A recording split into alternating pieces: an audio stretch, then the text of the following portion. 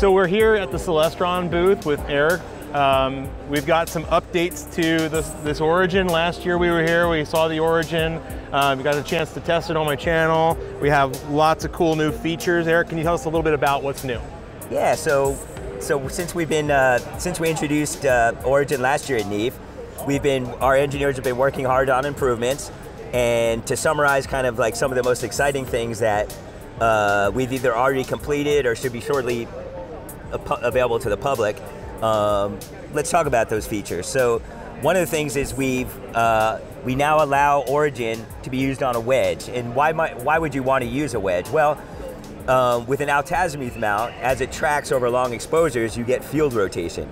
Now, you don't see that in your origin images because that area of the image, it's just the, around a little bit around the edge is cropped. So you right. don't, you never see so that. The stars like start to move on you in a circular pattern. Exactly, and you won't see that with the normal origin because the the processing automatically crops it, so you don't see the streak at the corners. Now, if you're if you're imaging a small object that fits mostly in the center of the field of view, that's great. But if you're doing something that fills the whole field of view, you might be losing just a little bit of data on the corner. So for something like the California Nebulae, maybe you want to make sure that you get that full frame with no right. edge cropping. Then you can put on a wedge and it tracks equatorially, and you'll have no field, uh, you'll have no cropping due to altazimuth field rotation. So it works really well. Basically, you just put on the wedge, and then you tell Origin that you're on the wedge within the app and then it'll initialize itself as normal, and then immediately after that, it'll ask you if you want a polar align, and then you say yes, and then instantly you just you can uh, use the azimuth and uh, altitude slow motion adjustments to just dial in the number till it's close to zero on each axis, and you're polar aligned, and you're done. Cool.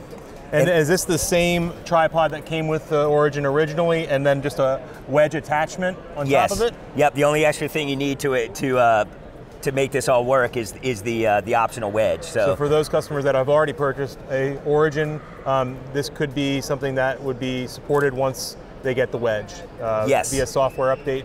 Yep. Yeah. So the software will be public, like I said, by May 1st. So if you have the wedge, then you can take advantage of this. So. Okay. And um, then we also have on top here something new. Yeah. Not so, new to the, not new to Celestron, but new to the Origin. Right. So so in equatorial mode, it unlocks longer than 30 second exposures. Right. Um, in, the, in a lot of cases, there's no reason to, to use longer than 30 second subs, but if you want to, um, you on the in the EQ mode, it unlocks the 30 second limit, so you can go as long as you want.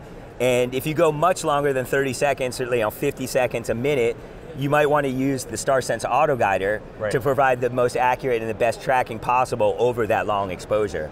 Um, so if you are going to be doing longer subs and past a certain point, you may want to consider adding the StarSense Auto Guider. And what's nice about that is there's nothing to do except just plug it into Origin and it's automatically guiding so and working. So it's not going to become more complex. It's still going to be a very good user experience yes. that doesn't feel much more difficult. It's just more capable. Exactly. So you essentially just take the StarSense Auto Guider, put it in, plug it in, nothing to do within the app. It'll just basically guide perfectly at that point.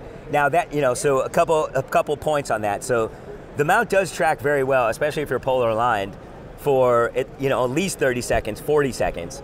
And in many situations, the, the fact of the matter is because RASA is so fast, it'll saturate the sensor right. in less than a minute.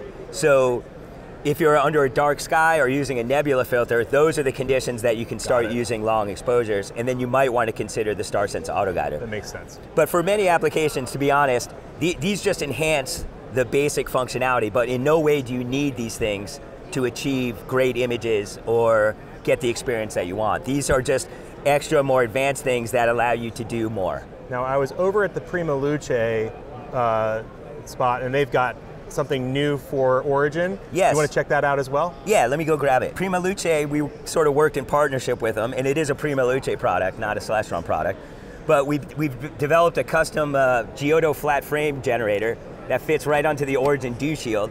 And what this allows you to do now is reframe the camera. So, so, so if you have an extended object, let's say Andromeda, and it doesn't line up exactly in, this, in the field of view that, the way that you want, what you can do is essentially rotate the camera. So loosen the ring, rotate the camera to new orientation, and then once you do that, you can start imaging as normal, but if you really want to get the best results, you should take a new flat frame. And we've made it easy by now, after you've rotated the camera, just put on the flat frame, and then from the same smart device that controls Origin, you can control this, turn it on, turn the brightness on, go back to the Origin app, take a new flat frame.